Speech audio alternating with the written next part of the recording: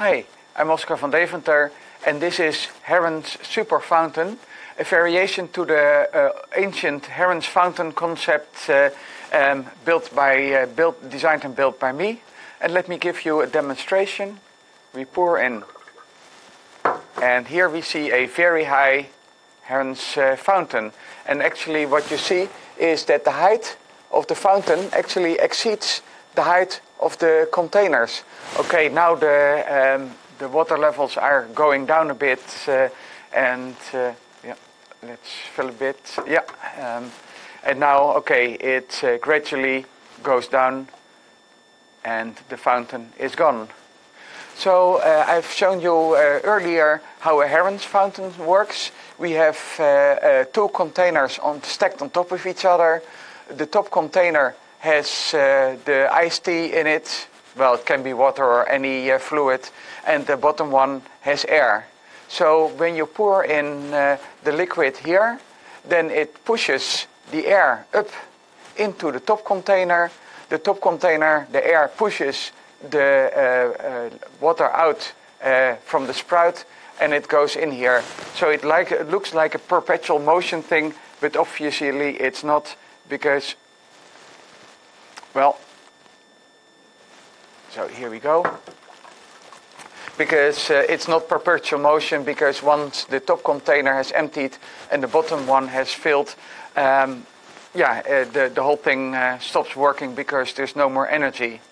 So this is uh, only a, uh, single segment, so it takes uh, a little bit, little bit more time to empty because there is less pressure.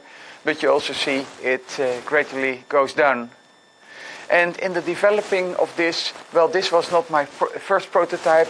This was my first prototype and it didn't work. I make, made a second prototype, it didn't work either.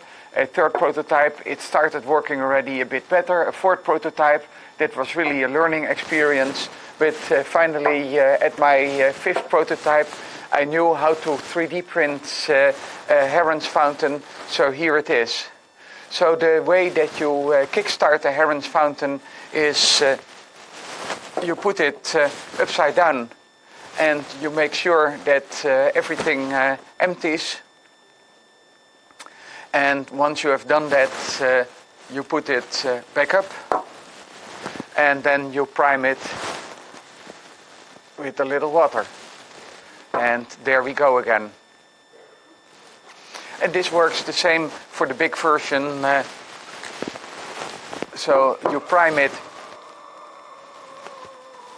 by having uh, all the uh, parts uh, empty and you can see the whole thing. It has uh, four Heron's fountains uh, coupled together like siphons and so we have four, four air pressure vessels at the bottom and four containers at the top and it works the same way, but then four in a row uh, when you prime it, it starts uh, going. And of course, this one can go so high because we have a cascade of four of them. So this is the reason why the height can exceed the height of uh, the object uh, itself.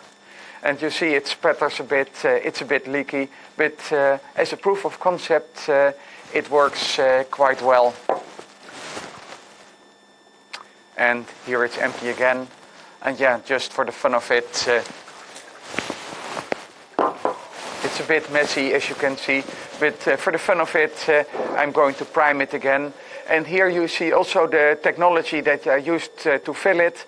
So uh, these are uh, rubber seals, and you open it with the coin, then you pour in the liquid, you prime everything, and then it's ready to go. So it's, yeah, it's a, it's a fun thing.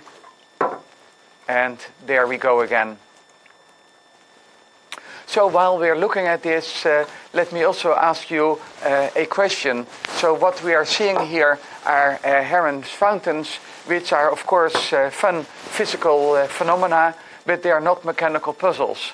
So do you know a way to use this type of fun hydraulics in a mechanical puzzle? Thank you for watching.